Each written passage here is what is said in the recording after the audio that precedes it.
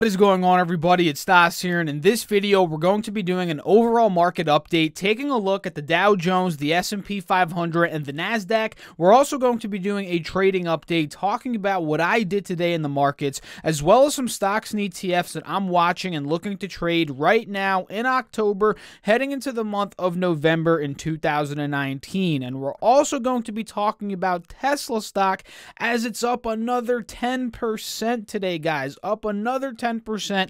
And we're going to be talking about briefly whether or not I think it's a short squeeze. And hint, hint, I do think it's a short squeeze. But we'll get into that here in a couple of minutes, guys. And all I ask from you is if you enjoy this video, feel free to go down below, hit that like button, consider subscribing if you do want to see further content from me, and feel free to join our Strive Smart Discord group chat and our Strive Smart Facebook group. That's how you can be in contact with me and all of the other traders and investors in our community on on a day to day basis. So, guys, let's get right into it. Starting off here with the SPX, the S&P 500 index, the 500 largest publicly traded U.S. companies. So we can see here we ended up closing the day up $12.26, up 0.41%. And we finally, I feel like, broke out today, right? We finally broke up today and filled the gap up to that all time high resistance, which is at 3027.98. And guys, no kidding, we got like 55 cents.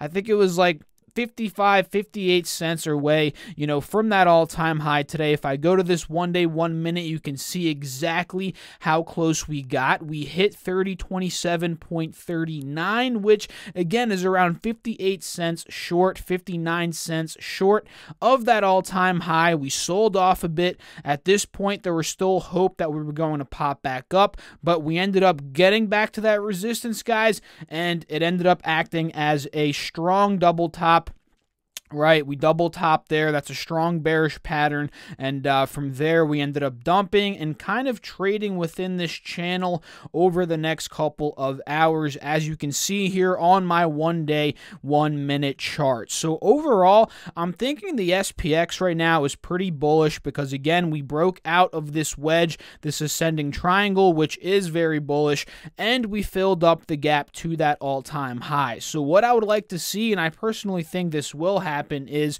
you know, next week, you know, I need to see a break above this resistance and for us, honestly, to get to those all time highs. And watch out for Apple next week, guys.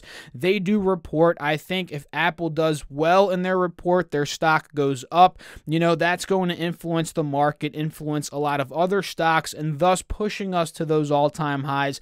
Um, you know, that's what I personally think here. And let me know down below in the comments what do you guys think about that? Going to the Dow Jones industrial average here, up 152 points today, up 0.57%. Unlike the S&P, guys, this is not looking bullish quite yet. We're still trading in this wedge, right? You guys can see it. We're still struggling to break out and fill up to the all-time high, you know, like the S&P already did, right? Which makes the Dow still a bit kind of neutral, bearish in my personal opinion. You know, once if this does happen, this arrow that you guys see here here, if we fill up, that's obviously going to be bullish. And of course, if we break that all time high at around 27.3, 27.4, that would be extremely, extremely bullish as well. So as of now, I'm just simply watching this on the four hour chart. And if we go to this one day, one minute, you guys can see we started off very strong today. Very, very strong. Hit 27K, tried to hold that level as a new support, but ultimately failed.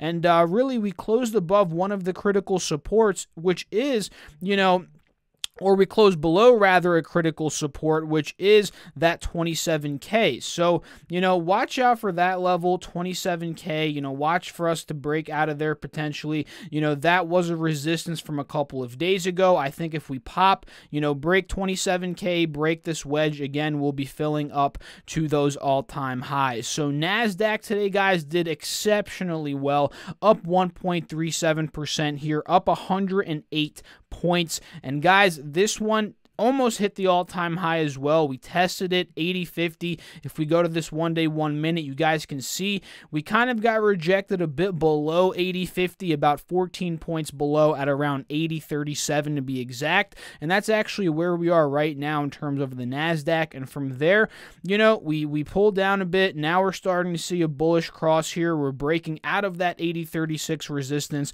So this is a good sign, right? We're about nine points away from the all-time high here on the And I think it's very reachable for this upcoming week um, that we do end up exploding out of that and uh, going to new highs, right? Whether that's 80 60, 80 70, 80 100, and above. I think that's very possible for this upcoming week. So, overall, guys, that's the market, right? Today was quite a good day. We had a bunch of big stocks do well. You know, Amazon tanked after hours yesterday about 10%. They recovered all the way up. They ate all that gain back up, right? They gapped up like 7 8% today. Pretty, pretty crazy. And that's obviously driving um, the NQ here. We have Netflix doing well today. Google did well today. Apple did well today. Three bucks for Apple, right in the green. You know, Facebook's doing well today. It did well, rather, up a dollar 51. So a lot of these stocks, you know, ended up fueling the NASDAQ. So what did I end up doing today, guys? Well, I didn't really do much um, day trading other than a quick little in and out on Amazon. And I did mention yesterday that um, Amazon was a stock that I was looking to buy, you know, especially after this dip. And I actually did end up buying a little bit in my M1 Finance portfolio, which I'll update you guys on that portfolio in the next couple of days here because I've actually been doing a lot of buying in there and putting more money, you know, into the portfolio, buying some more growth stocks actually. And uh, so I bought Amazon in that, but in my trading account, you know, on the five day, five minute, we'll be able to see it here. You know, I ended up buying in as I started to see, you know, massive push, you know, pre market hours today and really at market open on Amazon, right? Again, we got that earnings yesterday. You know, we ended up tanking, um, tanking from about 1775 all the way down to about 1618, opening up that 10%, right? I didn't know yesterday. I was thinking to myself, you know, is this going to hold? Is it going to continue to sell off tomorrow, right? If it were to sell off, I would have liked that a bit more, to be honest, because I would have added more, um, you know, in my other accounts, you know, besides my M1 account, you know, I would have added maybe in my, in one of my, you know, long-term accounts outside of M1 M1. But the fact that we ran up so aggressively, guys, you know, I didn't get that opportunity to buy in any other account but M1 and, uh, you know, in the trading account as well. But in terms of my long term accounts here, and, uh, you know, we got that pop got the consolidation 1660 this morning, and then we just had a ridiculous run up on the one day, one minute. You can see here, you know, I ended up just buying in on this dip at about 1700 here. I believe I just bought like two, three shares, nothing crazy, right? And then we started riding that 50 SMA, and honestly, I just held it for a little bit, right? The markets were running, we saw that, and you know, as this started to plateau, you know, that's when I ended up, you know, scaling out of the profits uh, of the position with profits of around 2 to about 2.1%. And if you guys saw my video yesterday, you knew that I was holding some V, um, you know, through the earnings, which I don't really do a lot, but this is one that, you know, I kind of felt confident doing so. So I held half of my position through earnings. I ended up buying in yesterday actually at about 174. Um, like 60 or 70 or something like that. You know, I, I rode it up for about 1% profit, sold half, and now I'm still actually holding the other half through this weekend, right? I'm holding it through this weekend, hoping for a pop above 180 um, in this upcoming week at some point. If these markets do get that pop to the all time highs, I honestly think Visa and a lot of these other stocks like Amazon, too, honestly, will end up doing, um, you know, well here. So, Visa, I'm still holding holding this one. I'm up like 2% or something like that, 2.5%. So, yeah, that's really what I ended up doing. Day traded Amazon, nothing too crazy, about two, three shares there. Um, you know, uh, about 2% profit, 1.5, whatever. Actually, no, it was more like 2%. And now I'm holding Visa over the weekend, hopefully going to make some gains on that um, this next week. So, as you guys saw in the title, Tesla, yes, Tesla yet again, guys, up 10%. This is looking like a short squeeze, in my opinion. It is looking like a short squeeze, guys. And if you guys do not know what that is, let me pull up my Safari right here and read a quick definition from Investopedia. What is a short squeeze? Well, a short squeeze is a situation in which a heavily shorted stock like Tesla or commodity, moves sharply higher, forcing short sellers to close out their positions, their short positions, and adding to the upwards pressure of the stock, right? Short sellers are being squeezed out of their short positions, usually at a loss. Short squeezes are generally triggered by a positive development that suggests the stock may be embarking on a turnaround. So Tesla stock, right? It's been getting crushed. You know, it was at 170 a couple of months ago. You know, a lot of the short sellers were laughing through this point in time, right? And now, as Tesla's starting to run back up, as they turned a profit yesterday, now the shorts are like, crap, what are we going to do, right? The stock may run up, and if it runs up, we can lose unlimited amounts of money because when, you, when you're shorting a stock, you can lose an unlimited amount of money. That's the reality of it. So, with the stock, you know, having having this pressure to the upside, right? What are the short sellers doing? They're cashing in at a loss, and this is providing you know, a lot of stimulus to the stock. And as you guys can see here, although the turnaround in the stock's fortunes may only prove to be temporary, few short sellers can afford to risk runaway losses, like I said, on their short positions and prefer to close the position even if it means taking a substantial loss. So a lot of these short sellers, they're taking that loss, you know, right? And that's pushing up the stock like crazy as they're buying into this, right?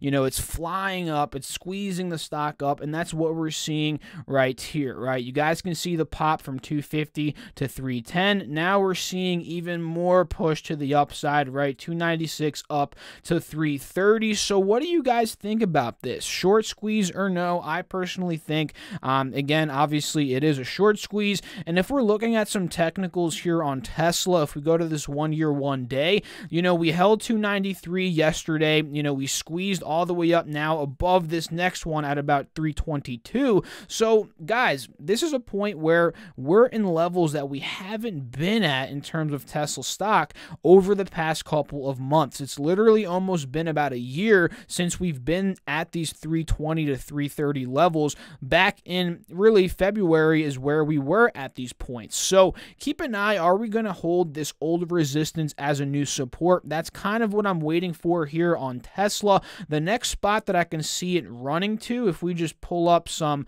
um, you know, other levels here, you guys can see 344 is very possible, 348, 350 area. You know, this could be a, a potential resistance, right? If we pull down, hold 322, maybe we can trade this up to 350. But, you know, I don't know if I'm going to be trading Tesla at this point. I'm watching it more. I'm on the sidelines to see what does it do. Does it pull down? Does it does it continue to squeeze up to 350? You know, I don't want to get into this now. I feel like if you weren't already in this down here in the 240s, 250s right now, trying to get in is kind of like FOMO, fear of missing out. It's kind of a bit too late. So that's just me, right? I'm going to wait. I'm going to see what ends up happening. But nonetheless, I do think this is a short squeeze. Shorts are covering at losses right now to, to, to really, you know, to, to not be caught in a ridiculously red trade. Because and remember, when, when, when, when Tesla continues to go up, what's happening to short sellers? Well, you know, they're losing money and they're losing a lot of money. So they're going to keep covering, in my opinion. And uh, yeah, that's just what I think. Let me know down below. What do you guys think about that? Now, let's talk about some stocks very quickly that I'm personally watching. And if you guys actually want me to talk about a specific stock or ETF in Sunday's video, feel free to comment that down below. Comment whatever ticker um, symbol you want, and I'll get to that in Sunday's video. But some stocks that I'm watching, guys, you know, are a lot of the ones that I'm involved in right now. Visa, I'm watching it, right? I'm looking for the potential test at 180. I think if we break 180, this could be a runner up to 185, 187. So I'm watching Visa. Chipotle Mexican Grill is one that's interesting right now. We haven't really found a bottom yet, but we're still kind of hovering around the support of this trend line, which I think if we do end up turning around here, this could be one that fights back up into the 800s, maybe 820, maybe 830, and it actually has a lot of potential uh, for profit. You know, even up to that first resistance, which is at 830, it has about a 5.2% profit from there, right? From where we are now to there. Let's say we pop above to 860, we have even more of around 9 to 10%. So I'm watching Chipotle closely. Apple, they're reporting earnings tomorrow, or not tomorrow, next week. You know, I believe it's on the 20 uh, or the 20 or the 30th. Yep, the 30th. I was about to say 29th, but it's on the 30th. This is one that I'm watching, of course, not looking to get in whatsoever. It's overbought, in my opinion. Uh, me getting in now would definitely be a case of FOMO, but still, nonetheless, it's still worth watching, right? If we pull down, maybe hold that 50 SMA, that could be a dip buy entry point here, right? PayPal is another one that I'm watching. This is looking extremely bullish right now, in my opinion. This one has the most potential out of anyone in this list. Maybe CMG has, has you know, comparable potential but, you know, in terms of Visa, I would definitely rather, uh, you know, trade PayPal here just because we're breaking out of the 180 SMA here, right? And we have a lot of potential to those all time highs at around 122 of around 12%, right? So the fact that we, we broke out of the moving averages here, we pulled down, we held them as a support, right? And we saw a massive break on the five day, five minute. You'll be able to see it, right? We consolidated, we popped. This is looking extremely bullish in my eyes. And um, yeah, this is actually one that I'm looking to buy this upcoming week as a swing trade. So, you know, another one, T. AT&T guys, this is reporting earnings right now. I don't know, um, or they already did report earnings. No, I, I swear their earnings were today. That's weird. Um, earnings conference call 1023. That does not sound right. But nonetheless, I'm watching AT&T um, you know, they are reporting earnings here, whether it's today or the, the next couple of days. Either way, this stock's been doing quite well, right? We're at a dip right now, heading into these earnings of about 4%. So this is worth watching as a turnaround play. A lot of potential there, in my personal opinion.